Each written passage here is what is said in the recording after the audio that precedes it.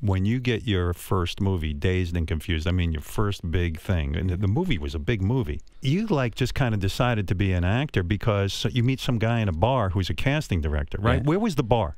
Austin, Texas, on uh, I think it was down on First Street. And you're sitting there, what, are you having a beer or something? I'm there with my girlfriend. Order a drink. I'm there because the bartender was in film school with me, not acting school, but Right. film school. And he gave me free drink. yeah, you wanted to be a director, right? That was your sort of focus at that point. Yeah, behind the camera. Yeah, maybe I'll be behind the camera, whatever. And then you're sitting there, and some casting director dude comes up to you and says, "Hey, you're you're a good-looking dude." Well, the guy, the bartender says the guy at the, the end of the uh, bars in town producing a film. So I go introduce myself. right. name is Don Phillips. What'd you say to Don Phillips? I said, I introduced myself and I said, you in town working on a film? And he goes, Yeah, yeah, I'm working on this film producing and I'm casting. It's called Days Confused. What do you want? And so he was kind of off putting to me, Yeah, like right. I'm some kind of Yeah, local. hey, what do you stupid. want? What do you want? So we started shooting the shit, and all of a sudden, we, we both knew we played golf. We had a similar course we had played. Cut to three hours later, we get kicked out. Right. Um, for being a little rambunctious. and on the ride home in a taxi, he says, Hey, Ma- Matthew, you ever done any acting? Any And of that I- acting You ever stuff? done any acting? If you know Don Phillips, people out there go, "This is what he sounds like." But and he's and I said, "Well, I was in a Miller Lite commercial for about mm, that long." Yeah. I'd say it was more of a modeling job for a half a second. Right. And he goes, "Well, come to this address in the morning if you're interested. You might be just right for this part." I go down, pick up the script. Days confused. Yeah, and uh, Richard Linklater was the director. Yep.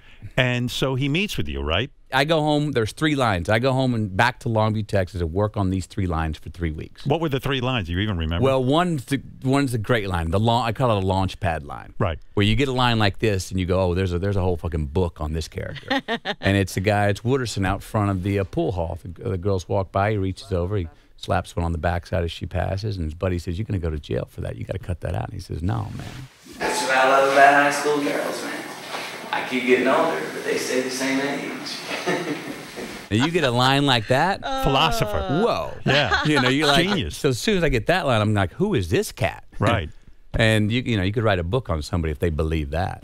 And Sure. so I ended up working three weeks. Yeah, but when you got the uh, interview with this guy Linklater, he says to you, "Hey, you're not this guy."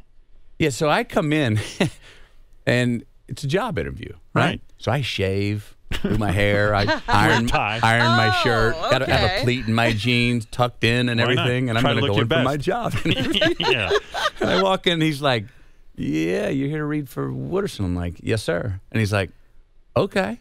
Well, then I sat down, and as Rick tells me, he said I sat in the chair, and, and he goes, "Okay, go ahead." And he said I kind of just kicked back and laid my shoulders back and did Wooderson. He comes up, he goes, "Well, you're not this guy." And I said, "No, I'm not this guy, but I know who this guy is." Right.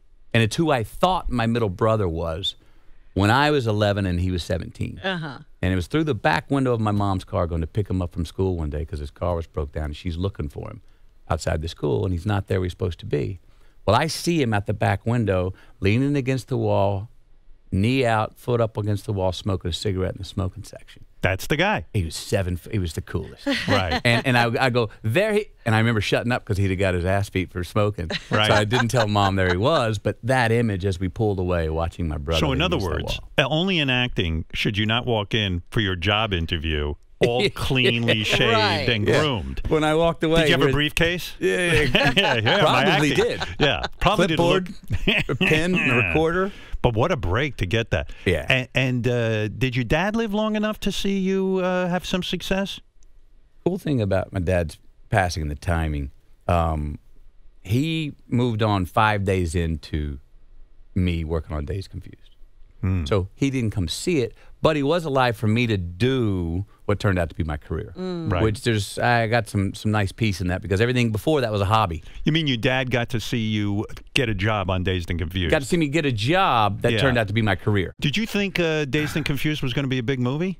Oh, I had no idea. I, you I- I can't was tell. they're paying me three hundred twenty-five bucks a day. People were inviting me back the next day, It's big telling for me I'm good at it. The Yeah. Most I had made was seventy-two bucks waiting tables at Catfish Station since. Before Teach me something about acting. When you prepared for that movie, Dazed and Confused, they say you listened to live Doors music, Jim Morrison uh, specifically.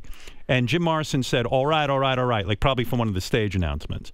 And so, how does that get you in touch with your character? Because all Well- right, all right, all right sounds like something. No, no, no, no, not that literal at all. Number one, Linklater on that film, what he did, his first piece of direction was he handed every character a cassette with a mixtape of music. He goes, "This is what I think your would be listening to." Well, as a young actor, you're getting handed badass music on a cassette to go rock out to, and that's your homework. Yeah. Oh, okay. So you This'll listen work. to it. So that song in particular, I did not remember. This is something. There's some. I think it's a live album in like Copenhagen or something. And Right. is like, "All Some right, all bootleg. right, all right, all right." He barks it out like four times. So I'm not thinking of that. But on the night where I would I go to do a scene, I'm not. In, I wasn't supposed to do a scene. I, Rick just says, "Hey, I got this idea. Maybe Wooderson's picking up on the redheaded intellectual. What do you think?" I said, "Sure." He goes, "You want to shoot it?" I'm like, "Okay." So I go get in my car. Now I'm getting nervous. First scene I've ever done. It's not scripted.